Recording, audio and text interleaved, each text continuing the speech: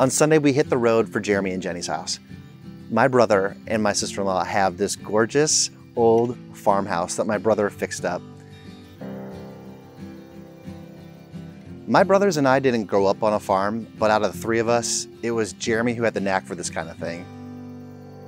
Say you want to and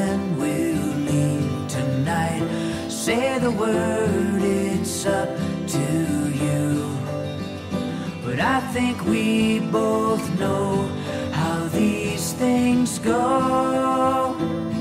Just say you want to. Now they have goats. They also have this beautiful big picnic table that just sits underneath this gorgeous tree that overhangs and gives you shade. Now I'm not sure what tomorrow holds, but we'll never know unless we try.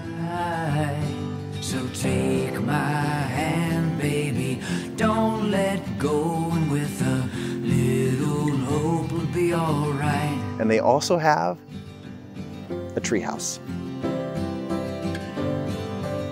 It has two stories, and getting to see him just explore, it was so magical. It was a moment of wonder that I always want to mentally remember. He won't always be this small. And someday he won't even want to go up in the treehouse. But in this moment, he was enjoying it and seeing it for the first time. And in a way, so was I. My mom has started this tradition where every time she sees us, she brings a book that's from the bookshelf at home where she lives, where I grew up. And she gives a picture book to our kids, really to my son. And she gave him Quick as a Cricket. You probably don't know that book, but I do because my mom read it to me when I was a kid. And to see her kind of hand it to my son and then for me to read it to him later that night at bedtime, super special. how these things go.